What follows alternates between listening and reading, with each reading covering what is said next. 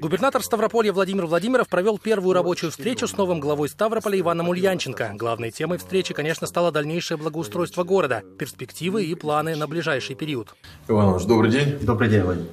Ну, я, конечно, поздравляю вас с тем, что вам оказали большое доверие люди, и все-таки вы сегодня являетесь избранным главой города Ставрополя.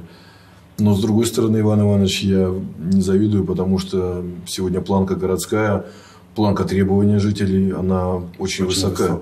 И поверьте мне, не то что опускать, а ее надо еще выше задирать и задирать, потому что ну, наш город, наша столица соответствует тому, чтобы быть самым лучшим городом России. Мы занимали призовые места, мы являемся одним из лидеров многих нацпроектов, в том числе и городская среда развития. Поэтому здесь, Иван Иванович, я не завидую, тут надо будет работать. Спасибо, Владимир Владимирович, за доверие, за поздравления. Я понимаю и отдаю себе отчет, что действительно город Ставрополь находится э, на таком уровне среди городов Российской Федерации. И опускать, опускать нам просто не жители этого не простят. Вот. И, конечно же, память о Андрее Хасановиче, который э, действительно, я работал с ним, э, вот я знаю его стиль работы, который отдавал, отдавал себя. Ни выходных, как говорят, ни проходных никаких не было. Поэтому я, конечно же, Владимир буду стараться, стараться для того, чтобы э, удержать, удержать то, что э, есть сейчас в городе, и то, что э, не успел, не успел сделать Андрей Хасанович. Это вопросы, связанные с благоустройством, это с уровнем жизни жителей города Ставрополя. Ну, конечно же, Владимир Ильич, и мы надеемся на вашу поддержку. Я знаю, что этих бы результатов, результатов, они бы не были достигнуты, если бы не ваше отношение к городу Ставрополя. Вы знаете, все делают люди. Мы лишь только помощники для людей. Вот я знаю точно, все делают люди, а мы можем помочь всем. Все-таки в текущей ситуации я бы хотел попросил ваше внимание обратить, несмотря на то, что мы сегодня перешли в первый этап э, снятия ограничений по коронавирусу, все-таки по текущей ситуации по коронавирусу, эту ситуацию каждый глава держит на контроле. Вы на своем предыдущем месте, наверное, не столько с этим касались, но тем не менее сегодня профилактические мероприятия, санитарно-эпидемиологические мероприятия, которые применяются муниципальными городскими территориями, это сегодня ваша задача. Сейчас что происходит в Ставрополе с коронавирусной инфекцией? Конечно, все мероприятия, которые э, предписаны и вашими постановлениями, вот, мы их анализируем, анализируем и э, будем э, держать, держать на э, особом контроле. Важнейший элемент – это внебольничной пневмонии и случаи заражения коронавирусом, которые не определена эпидемиология. То есть мы не понимаем, откуда человек это приносит нам. Это самые сложные случаи. И вот это уже задача, конечно, в первую очередь медиков, но в том числе и глав, потому что сегодня каждый разбирается с каждым случаем возникновения коронавируса у себя на территории. И за этим нужно постоянно следить. Владимир все вопросы, связанные с пребыванием на территории города Ставрополя э, людей, все мы их э, отслеживаем, всем мы им даем э, предписания, э, всем мы даем рекомендации, отслеживаем. Ну, по вопросу, касающемуся вот, э, недопущения коронавирусной э, инфекции на территории города Ставрополя, Владимир все разберусь, вникать будем во все вопросы и будем стараться, чтобы город удержать. Губернатор уделил особое внимание тому, что Ставрополь – участник многих федеральных и краевых программ. С привлечением средств российского и регионального бюджетов ведется строительство крупных инфраструктурных и социальных объектов, благоустройство территорий. Каждый из этих проектов Владимиров поручил держать на особом контроле главе города. Наша текущая ситуация. Смотрите, мы начали очень много здесь строительных работ. Конечно, самые наши там большие проекты – это Комсомольский пруд, Пионерское, Пионерское озеро, строительство дорог – Э, проектирование развязок, строительство школ, детских садов, обустройство скиверов, которые мы ведем. Все эти работы мы всегда договаривались, что мы выполняем четко в соответствии с графиком. Во-первых, мы взяли федеральные деньги, и их исполнение – это важнейший элемент нашей работы. Ну, министр, я вам не буду объяснять, чем грозит неисполнение да. в части выполнения работ за федеральные деньги вне сомнений, те денежные средства, которые сегодня напрямую из краевого бюджета в бюджет города Ставрополя пришли, это сложнейший этап, сложнейший этап, потому что в любом случае неисполнение этих средств влечет за собой дальнейшие уже санкционные мероприятия. Ну и плюс доверие жителей будет подорвано. Если мы что-то пообещали сегодня, то мы это должны сделать. Удалось вникнуть в текущую ситуацию, что происходит? Э, Владимир у нас на сегодняшний день э, по городу Ставрополю э, в этом году мы должны ввести в эксплуатацию 4 детских дошкольных учреждения. Хорошо. И одно учреждение мы должны начать строительство. То есть всего пока... Это на федеральной школе? Э, нет, это на детские сады. А, детские сады. Это на детские сады, да. Угу. Вот э, четвертый, э, вернее, пятый детский сад мы должны начать в этом году. Там небольшой у нас процент угу. освоения. Это в 204 квартале в районе Чапаевка. Угу. Один детский сад у нас готов. 1 сентября этот детский сад должен начать прием детишек уже. По трем оставшимся детским садам. Вот. Владимир э, вник, изучил э, что графики, которые были определены, там на декабрь, к декабрю месяцу, они будут э, все сокращаться в сторону уменьшения. Возьму на самый строгий контроль, потому что понимаю, что такое выполнение нацпроекта «Демография». По местным инициативам у нас ведется строительство э, пяти э, объектов. Вот. Это сквер э, декабристов, ну, все, все скверы. Значит, запланирован, запланирован на среду объезд, объезд и э, жесткие составления графиков, выполнение работы и освоение э, денежных э, средств. Вот.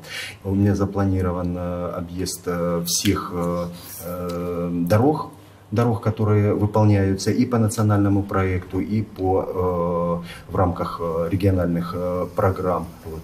И все, что связано с э, благоустройством. Я очень попрошу, мы всегда здесь все успевали, поэтому всегда нам очень сильно доверяли федеральный центр и, соответственно, все рядом стоящие с нами органами. Значит, понимаю ответственность. Э, Проектирование, будущий год, не забудьте. Мы должны будем перейти 100% к развязке мы еще должны будем построить как минимум раз, два, три школы, 204 квартал, федеральная и в юго-западном. Мы как раз к этому, к этому уже шли, к дальнейшему развитию. И то, что мы всегда планировали, сейчас заканчиваем 45-ю э, параллель, Российский проспект, и нам нужно выходить, у нас был проект выхода Серова на объездную мы ее также объясним. Поэтому эти проекты нам нужно опять поднимать и заново все делать. Понял, Владимир Понял.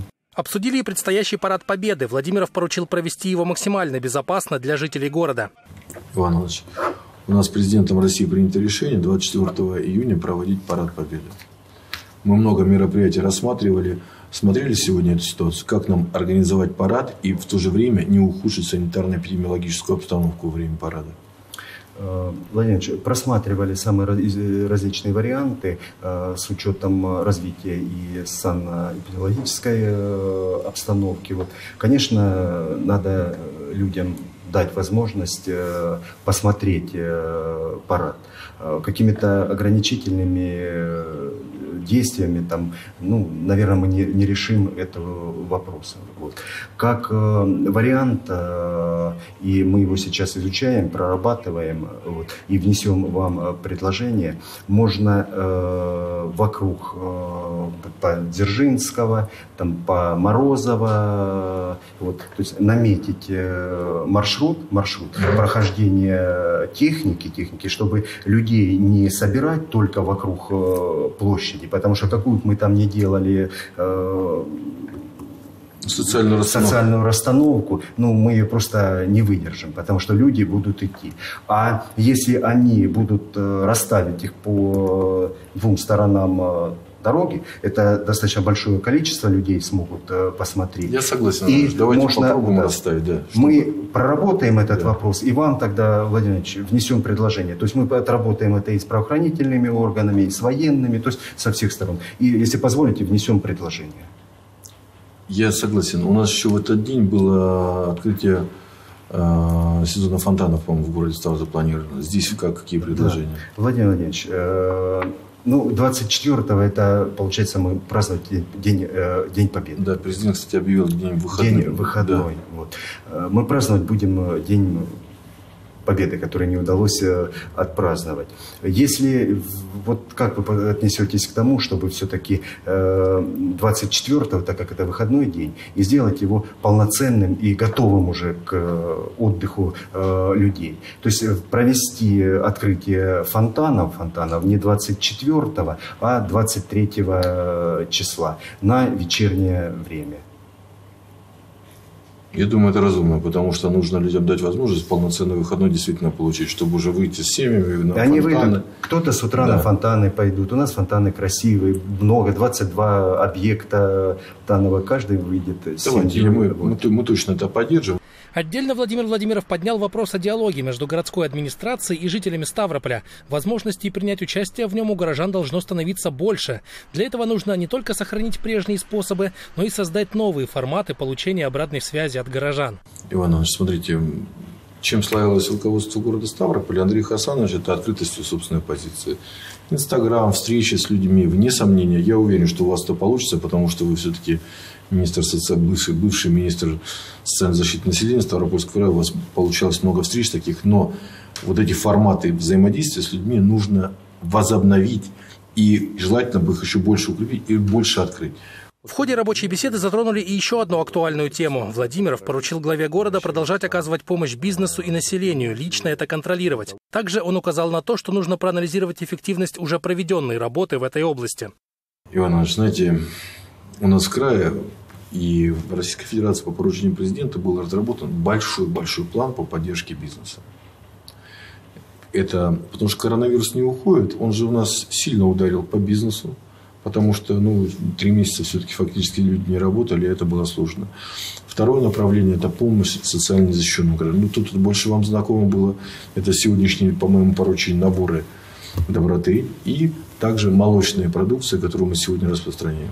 Иван Иванович, чтобы оценить правильность принятых решений и правильность действий, нужно понимать, сколько кредитов бизнесу мы закрыли, сколько сегодня субсидий бизнес получил, скольким семьям мы смогли помочь, сколько смогли получить э, отсрочек по налоговым вычетам. Я вас очень прошу, на свой контроль это возьмите.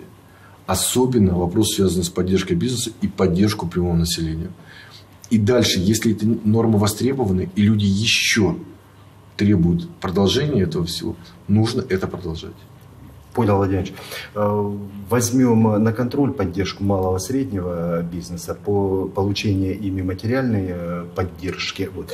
Э, я такую так, такие планы мы уже наметили, вот, вплоть до того, что будем, как говорят, в ручном режиме сопровождать то или иное малое предприятие для того, чтобы довести от момента обращения до момента получения его.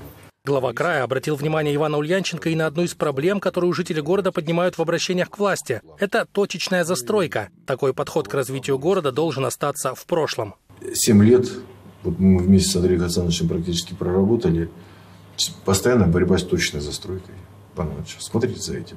Нельзя отдавать ничего в точку застраивать. Нужно все-таки идти уже более глобально. Потому что людей сегодня это очень сильно напрягает. Понял. И, знаете, хорошие были слова когда-то сказаны Андреем Александровичем. Мы ничего плохого здесь не делаем. Вот это должно быть нашим девизом. Девизом. Мы ничего плохого здесь не делаем, только развиваем свой город. Хорошо? Я тоже возьму это на вооружение.